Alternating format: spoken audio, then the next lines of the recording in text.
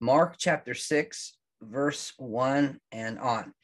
Then he went out from there and came to his own country, and his disciples followed him. And when the Sabbath had come, he began to teach in the synagogue, and many hearing him were astonished, saying, Where did this man get these things? And what wisdom is this which is given to him that such mighty works are performed by his hands? Is this not the carpenter, the son of Mary, the brother of James, Joseph, Judas, and Simon? And are not his sisters here with us? So they were offended at him. But Jesus said to them, A prophet is not without honor except in his own country, among his own relatives, and in his own house. So he could do no mighty work there, except that he laid hands on a few sick people and healed them. And he marveled because of their unbelief. Then he went about the villages in a circuit teaching. And so here, Jesus is moving in the supernatural, and they are astonished at his words and his works. And he's kind of um, astonished or marveling at their unbelief. And so the power of God is in motion. God is moving. God is working. And when they get offended about what they think they know about him, they then cut themselves off from the supply of what he has that they need. And so this is what offense does. When when we get offense in our hearts, what it does is it separates us and it blocks us from receiving the things that God is doing right in front of us. Offense, literally, if you want to, if I can give you a visual, it kind of brings a fence up between you and what God is doing, or between you and people. And so it's it's offense is something that brings division, dishonor, and it stops us from being a part of what God is doing. There's a book that I want to recommend to you for those of you who like to read. There's a book called The Bait of Satan, and it's by a man named John Bevere. And the whole book is about offense, and it's a very good book um, for Christians to consider because offense is something that the enemy usually tries to bring into a community to disrupt it and to uh, make it dysfunctional, unproductive, and uh, basically unfruitful in the work of the kingdom. So that's something to consider um, moving forward. And it says, A prophet is not without honor except in his own country, among his, among his own relatives, and in his own house. And so what happens is sometimes we become familiar with what we think about someone or what we perceive about them, and we actually rob ourselves from the treasure that God has given that person for us. And so Jesus was already moving in the power of God, and they were offended that God was using him because they thought they knew him and they really didn't know who he actually really was. But they were marveling at, wow, like there is legitimate wisdom and legitimate power flowing from him.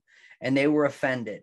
And many times people are offended about by what they can't understand or don't understand or can't control. Um, and so, to make a long story short, offense really, really shuts us down from the move of God, and it's a really destructive um, thing in relationships. Paul later wrote to one of the churches and he said, We know no man after the flesh. In other words, you don't want to relate to someone based upon the flesh, but you want to re- relate to them based upon the spirit and who God created them to be and who they really are. And it's very, very common when you get too familiar with someone that you you you shut down your ability to receive. It can happen with pastors, it can happen with it can even happen with spouses. It can happen with you know, you may be so aware of your spouse's weakness that you're missing out on the strengths that they may have for you. And and so you want to be be careful not to get too familiar um, and and not to be offended. And we have to really guard our hearts against offense because it's really it's really something that shuts down the flow of god's uh, power. And it doesn't it's not like your offense has the ability to shut god down. That's that's not it your offense has the ability to shut you down from receiving what god has and so i hope that that's an adequate and clear explanation so verse 7 You find the same story in Matthew 10, 1 through 42, and Luke 9, 1 through 6. Is that, and he called the 12 to himself and began to send them out two by two and gave them power over unclean spirits. And he commanded them to take nothing for the journey except a staff.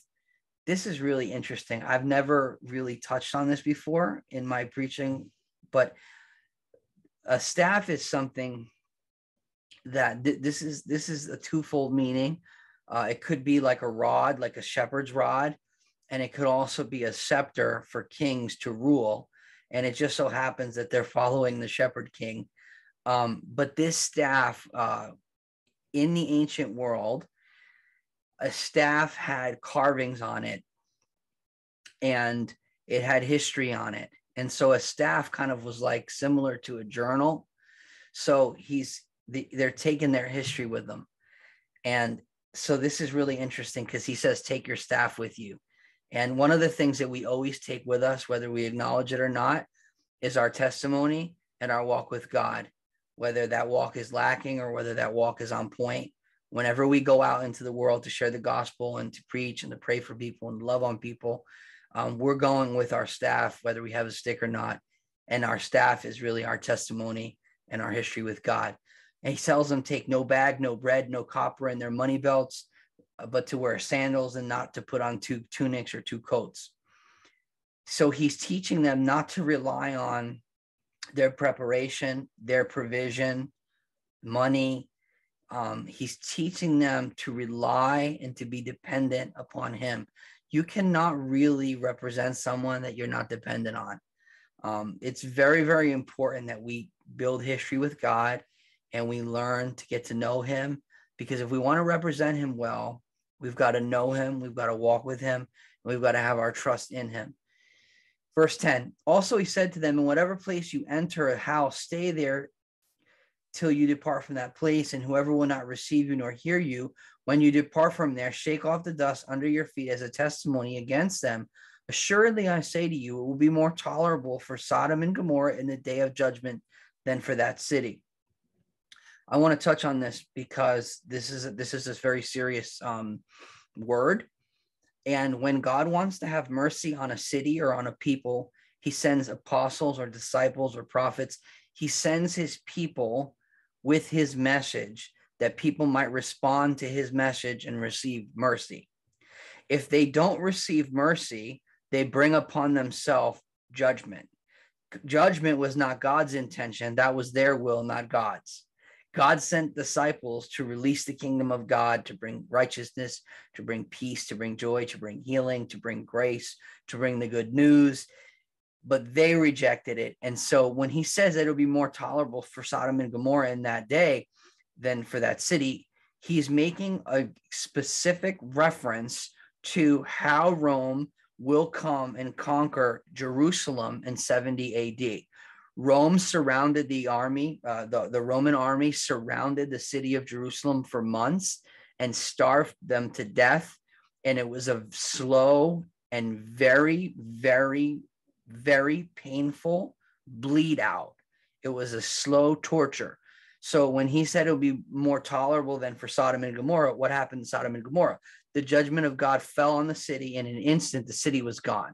So it's kind of like shooting someone in the head and having mercy on them by just killing them or torturing them for days and weeks on end and not that i'm telling you to do any of that it's like what did we learn in the bible study tonight shoot somebody in the head and you know not torture them no that's not what i'm saying i'm just saying that what he's saying here is that what happened to sodom and gomorrah happened quickly instantly and it was over versus what's going to happen to these cities that reject the gospel. It's going to be a slow and painful bleed out by Rome, and it's going to be ugly, and it's going to be painful, um, and it's going to be slow.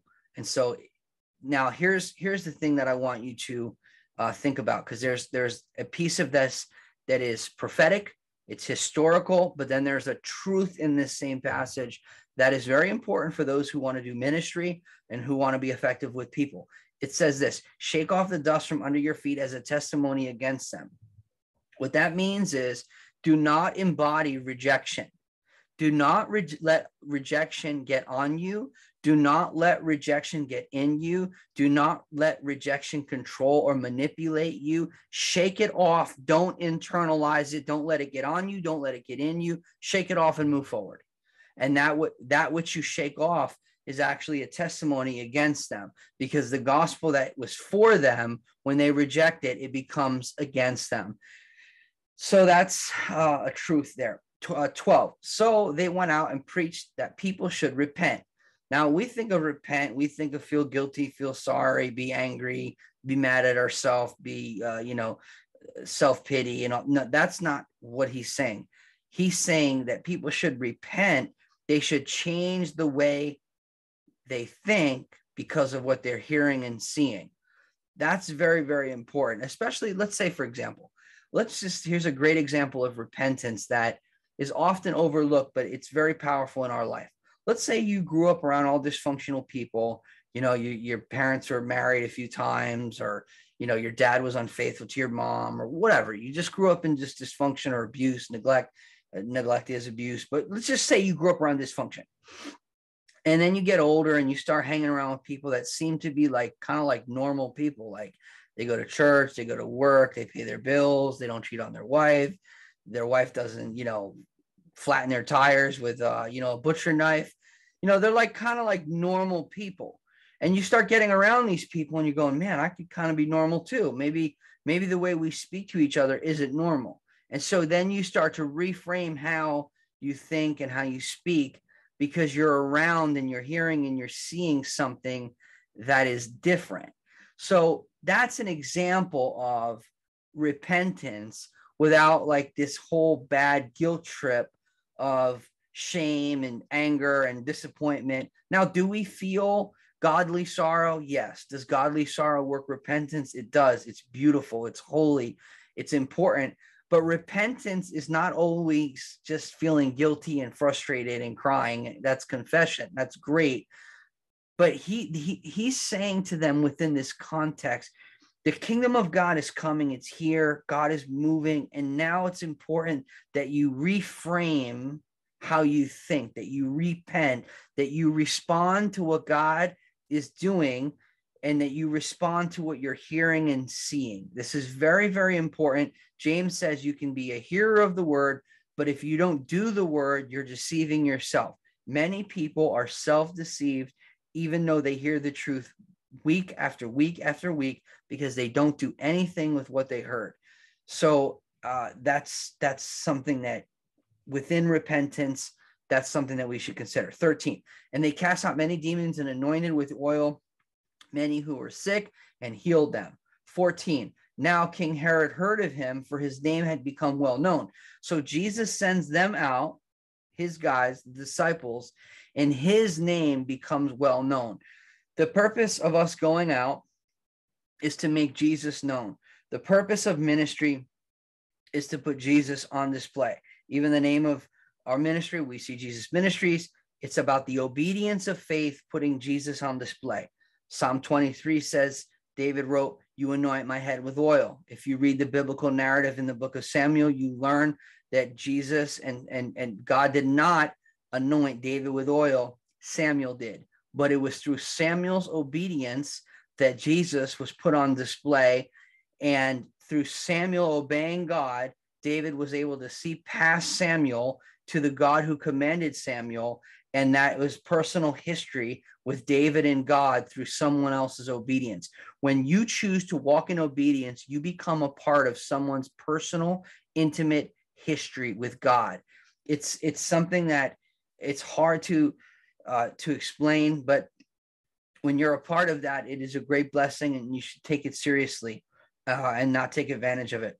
Now, King Herod heard of him, for his name had become well known, and he said, John the Baptist is risen. Here's his guilt talking from the dead, and therefore these powers are at work in him. So, this man Herod had John killed and Herod obviously feels guilty, and he obviously believes in resurrection because he thinks that that John is is Jesus and raised from the dead. And and let me just say one thing: political people usually don't understand truth. Um, they don't understand the gospel. They have all these weird ideas, And so that's true now and it's true then. So, anyway, 15 others said, It's Elijah. See, now he's hearing from people. Look at who, check this out. Here you have King Herod. He's a powerful person. He's misinformed. He has no idea what's going on. And there's other people who are speaking to him who don't know what's going on. That's something to think about. Th- think about this. This is this is he thinks he's a king. He's going to find out later he's not a king. But at, at this point, he thinks he's in charge. In addition to him not knowing what's going on, the people who are speaking to him do not know what's going on either. This is why prophets belong speaking the word of the Lord to people in politics because they don't know what's going on. So anyway, that was that's another message. And others said it's a prophet like one of the prophets. But when Herod heard, he said, This is John. And now he's confident in his ignorance. Uh, but when Herod heard, he said, This is John, whom I beheaded. He has been raised from the dead, for Herod himself had sent and laid hold of John and bound him in prison for the sake of Herodias, his brother Philip's wife, for he had married her. Because John said to Herod, It is not lawful for you to have your brother's wife. Powerful people are not used to someone telling them no. They're not used to someone opposing them. They're not used to someone telling them what you're doing is wrong. So Herodias got offended, and watch what's going to happen. Then Herodias held it against him and wanted to kill him, but she could not. For Herod feared John, knowing that he was a just and holy man, and he protected him. And when he heard him, he did many things and heard him gladly. Then an opportune day came when Herod, on his birthday, gave a feast for his nobles and high officers and the chief men of Galilee. The who's who of Galilee is there. And when Herod's daughter, watched this, Herodias's daughter herself came in and danced and pleased Herod and those who sat with him, the king said to the girl, Ask me whatever you want, and I will give it to you. He also swore to her, Whatever you ask, I will give to you up to half of my kingdom. So he went out and said to her mother, So she went out and said to her mother, What shall I ask? And she said, The head of John the Baptist. Immediately she came in with haste to the king and asked, saying, I want you to give me at once the head of John the Baptist on this platter. And the king was exceedingly sorry, yet because of his oaths and because of those who sat with him, he did not want to refuse her. 27. And immediately, immediately rather, the king sent an executioner and commanded his head to be brought. And he went and beheaded him in prison and brought his head on a silver platter and gave it to the girl. And the girl gave it to her mother. When his disciples heard of it, they came and took away his corpse and laid it in a tomb. Then the apostles gathered to Jesus and told him all things, both what they had done and what they had taught. And he said to them, Come aside by yourselves to a deserted place and rest for a while. For there were many coming and going, and they did not even have time to eat. This is uh, really powerful. I want to show you what lust and what pride does. Lust and pride working together help take John's head off. And so now this king is looking at his wife's daughter, and the way she's dancing is pleasing him. This is a perverse spirit. This is not, this is not, there's perversion in this family. He took his brother's wife and now he's looking at his wife's daughter and he's pleased by her dancing. So there's a spirit of perversion here. And perversion always makes promises. And so now he's saying, I'll give you whatever you want. And so perversion and pride are talking. And when perversion and pride get the best of you, you make promises that you, you wouldn't want to keep later. And so what happens is she asks her mom, and her mom had an offense in her heart because John told the truth. And John loses his head for telling the truth. But even in John losing his head, John is actually fulfilling his prophetic vocation because he's supposed to prepare the way of the Lord. and he's supposed to tell the people who's Israel's true king.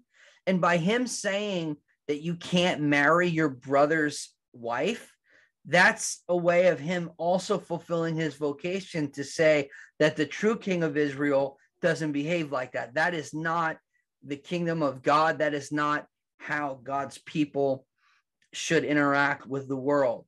And so, even his rebuke on the perversion of this king taking his brother's wife was part of him fulfilling his prophetic vocation. Prophetic vocation often is not just about forecasting the future, although that's great. Often, prophetic vocation, uh, the prophetic assignment is giving people God's heart and God's mind on a matter. Often, the prophetic is most often given through someone offering an alternate perspective to a situation. It's kind of like God will give a heavenly perspective to an earthly situation, and that is prophetic because it's releasing the heart and the mind of God. So I hope that that is helpful. Jesus is observing his guys, and he says, Come aside by yourselves to a deserted place and rest for a while. So Jesus is aware that his guys need rest, and that's important to him. Here's what I would uh, like to say to you when you're discipling people, when you're being discipled, um, when you're a father or a husband, you you have to know when the people that are entrusted to your care need a break. And one of the ways that you use your spiritual authority and influence is by helping to facilitate a break for other people. This is a beautiful thing in a marriage. Maybe your wife looks extra tired and you stand up and you do the dishes. Or maybe your husband needs to eat dinner and so you sacrifice being tired and you cook anyway. These are just practical things, but we, in caring for people, we have to know when we tell them, hey, it's probably time for you to take a chill pill and rest and, and, and, and kind of just chill out. All right. That's actually very, very important. This is a part of the story for a reason. If you want to last, you've got to learn to rest. Resting is a choice, it's a decision. Resting is an act of trust. Uh, it's very, very important. When you trust God, you can rest. Okay, verse 32. This story is also found in Matthew 14, 13 through 21, Luke 9, 11 through 17, and John 6, 1 through 14. This is the feeding of the 5,000. This is in all four gospels. So they departed to a deserted place in the boat by themselves. But the multitude saw them departing, and many knew him and ran there on foot from all the cities. They arrived before them and came together to him. And Jesus, when he came out, saw a great multitude and was moved with compassion for them because they were like sheep not having a shepherd. I want to say this to us. This is very important compassion is not something that helps us criticize people more accurately. Compassion allows us to see people's true condition. And he was able, through compassion, to see them and to see that they were scattered and they were people with no no shepherd. And in the ancient world, no direction and no protection. They're kind of just existing and kind of just a little bit lost. And ma- many Christians, I hate to say this, live their life like that. They're they're kind of just existing. They're not really thriving. They're not really by green pastures and still waters being refreshed. They're just kind of like just kind of stumbling through. And that is not the calling of God. We should have a shepherd. We should be shepherded and we should allow him to lead us and give us sure instructions and clear directions. All right. So he began to teach them many things. When the day was now far spent, his disciples came to him and said, This is a deserted place, and already the hour is late. Send them away that they may go into the surrounding countries and villages and buy themselves bread, for they have nothing to eat. But he answered and said to them, You give them something to eat. When you pray, don't just bring your problems to Jesus. When you pray, expect to become a part of the solution. This is part of whether we know it or not, they're praying. they're going to God with a problem. and God wants to make them part of the solution. So, if you see a problem, ask the Lord how you can be a part of the solution. And they said to him, Shall we go and buy 200 denarii worth of bread and give them something to eat? So their first response is natural. They're in the natural, they are anchored in the natural. And Jesus is, is trying to teach them to see beyond that. Watch this. But he said to them, How many loaves do you have? Go and see. And when they found out, they said, Five and two fishes. Then he commanded them to make them all sit down in groups on the green grass. Remember, it said that he'll lead us to green pastures and still waters? Come on, look at this. Then he commanded them to make them sit down in groups on the green grass. And they sat down in ranks in fifties and in hundreds, in hundreds and in fifties. And when he had taken the five loaves and the two fish, he looked up to heaven, blessed it, and broke the loaves and gave them to his disciples to set them before them. And the two fish he divided among them. So they all ate and were filled. And they took up 12 baskets full of fragments of the fish now, those who had eaten the loaves were about 5,000 men. This is beautiful. The food did not multiply in Jesus's hand, the food multiplied in the hands of the people that wanted to send them away. Jesus is taking the mentality of the disciples from lack to leftovers.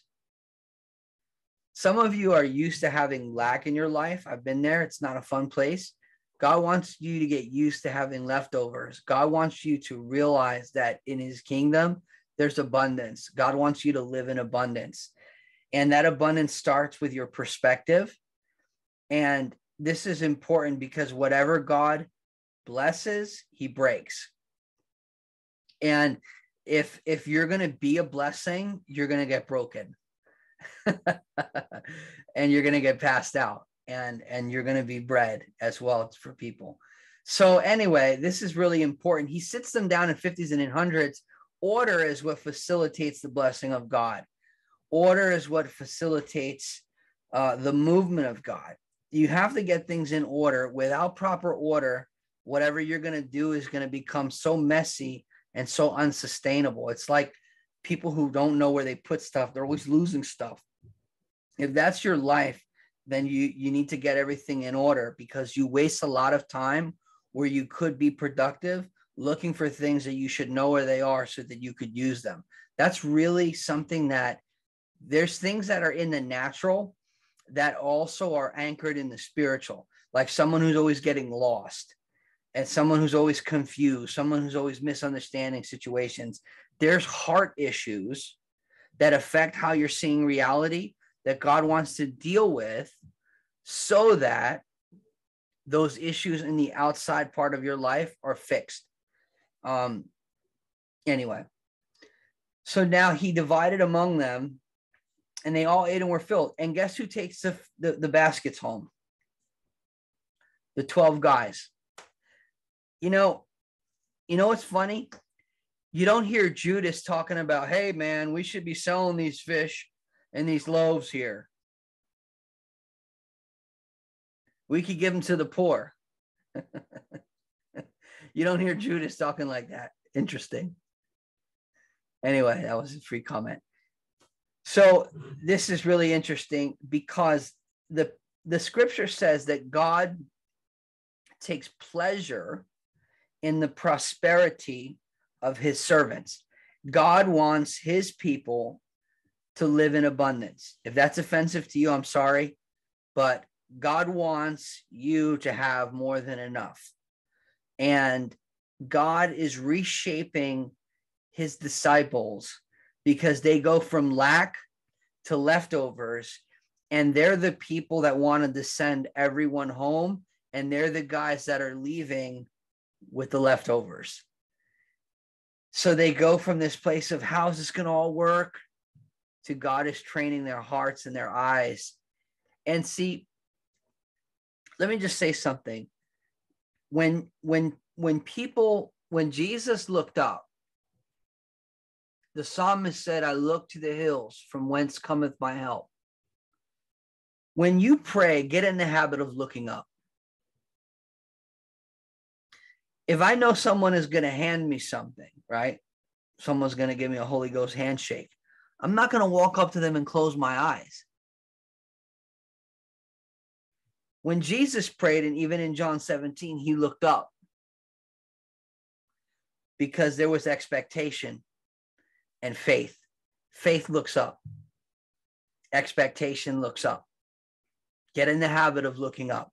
He looked up to heaven and I could just just I could just imagine him. I'm not saying that this is happening. I'm just saying my imagination.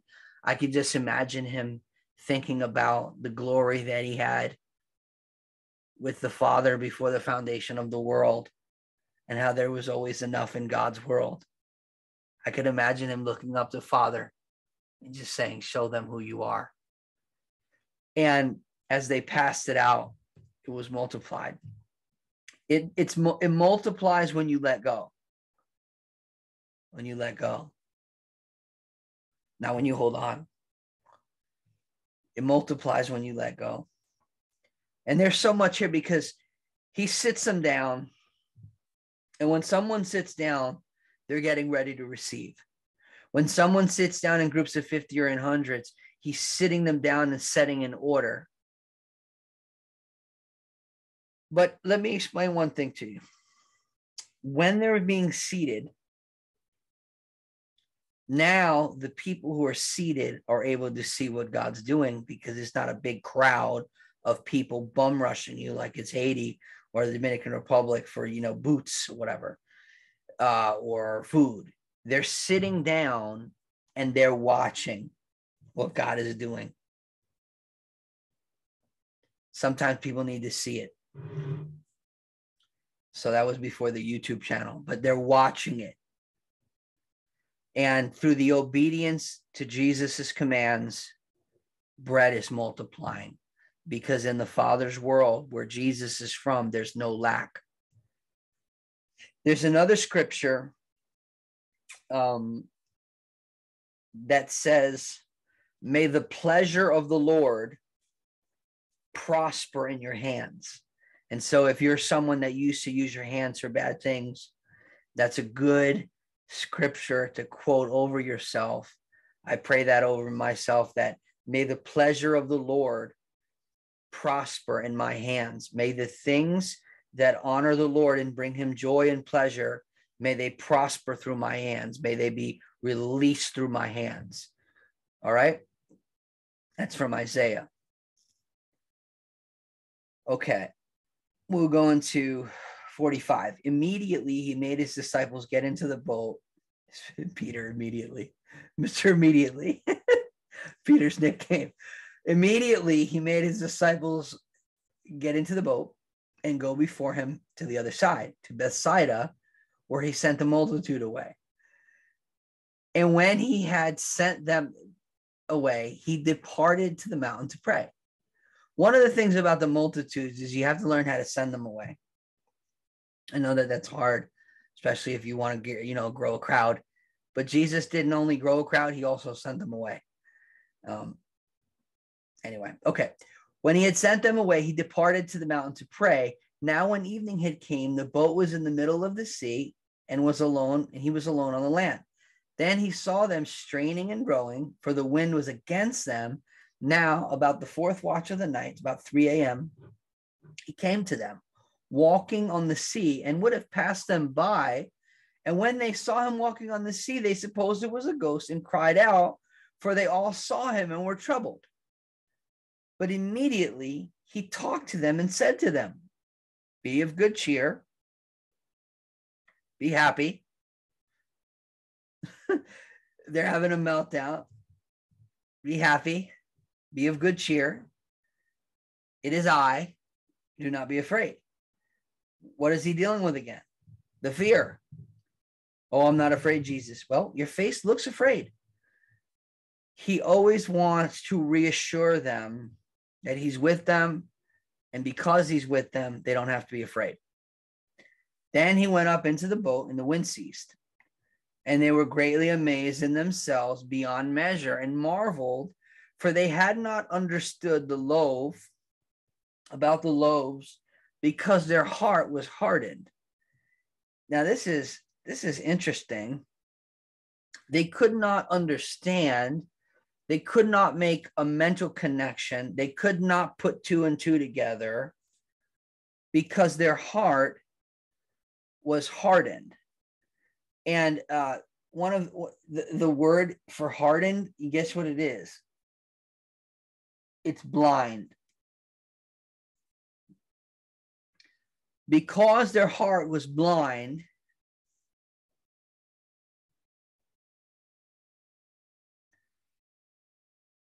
they could not perceive. They could not put it together. They couldn't understand it. They, they didn't understand that the last thing that Jesus had just conquered was training for the next thing that they were going to go through.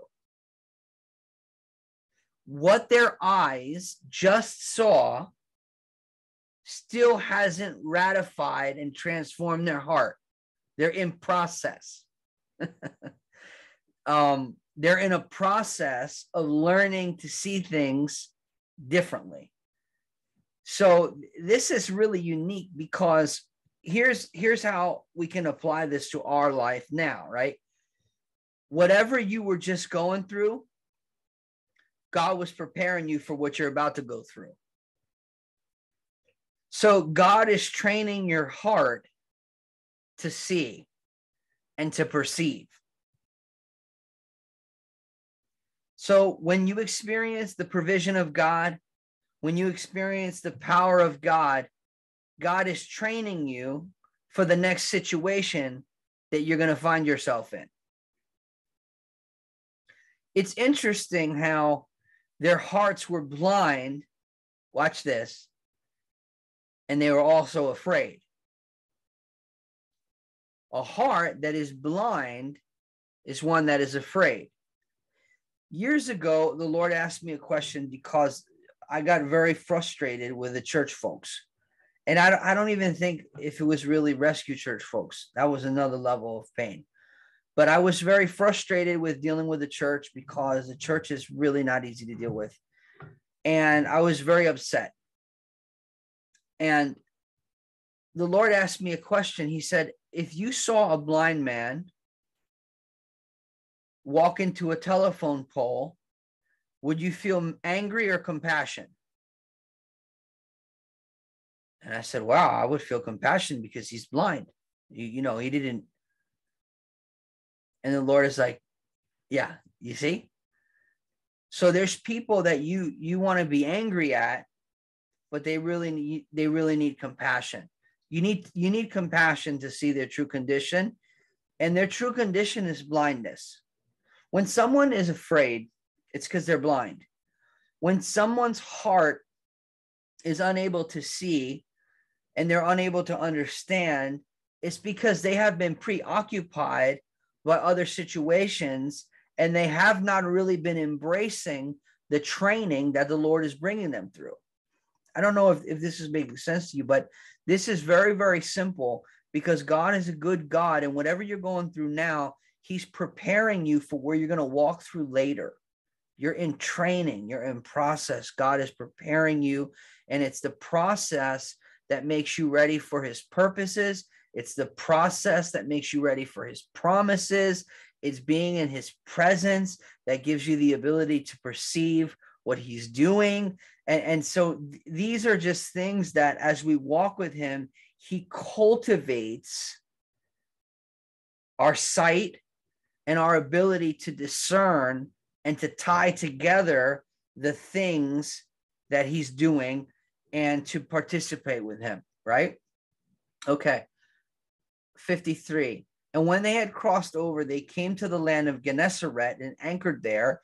And when they came out of the boat, immediately the people recognized him and ran through the whole surrounding region and began to carry about on beds those who were sick to whatever they uh, excuse me to those who were sick to wherever they heard he was. So wherever he is they're going there.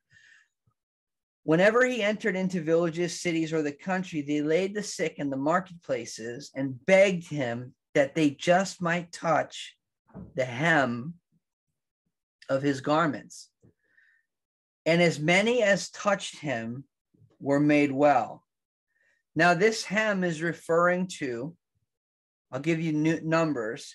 Speak to the children of Israel, tell them to make tassels on the corners of their garments throughout their generations, and to put a blue thread in the tassels on the corners. Blue stands for royalty. so, anyway, royalty is kingdom. He is the king and the high priest.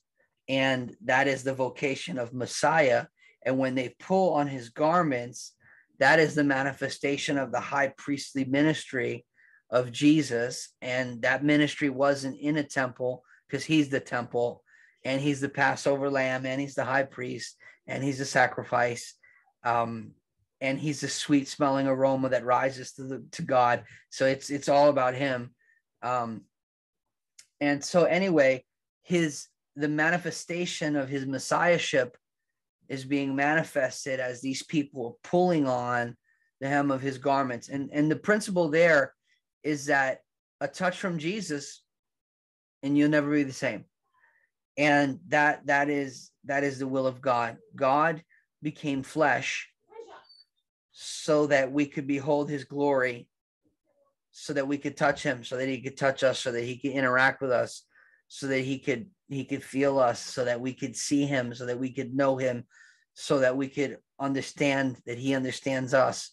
And though he was tempted in all ways yet he didn't compromise and he he he set the example and he was faithful. And uh, he gives us a model of faithfulness to follow. And uh, the, the reality here is that they are now flocking to him because they can depend on that if they touch him, they'll never be the same. And um, that is that is faith, that is expectation. And when you press in and, and that's your expectation, God meets you there. And um, some of us need to lift up our expectations because we've maybe experienced a bunch of disappointment, or maybe you prayed for the sick and they weren't healed, uh, or whatever it is. But we need to lift up our level of expectation like I'm headed to Haiti next week. I absolutely 100% expect miracles. I believe in a supernatural God. I believe Jesus Christ is the same yesterday, today, and forever. And I believe the type of stuff that we're reading in here should be normal for Christians because Jesus hasn't changed his mind and the needs of the world are still here. And God wants to show that he's king and he's Lord and he's, you know, and he's daddy and he loves them. And, and if they touch him, they'll never be the same. And so anyway, that kind of concludes Mark uh, 6. For those of you who want to sow into the ministry, you can go to we see Jesus slash give slash partners, or you could give uh, via Zelle at 201 562 6335. Or another thing that you can do uh, is you can partner with us with our projects. Uh, today, we actually had a pretty good day, and we're seeing the Zambia project spike up.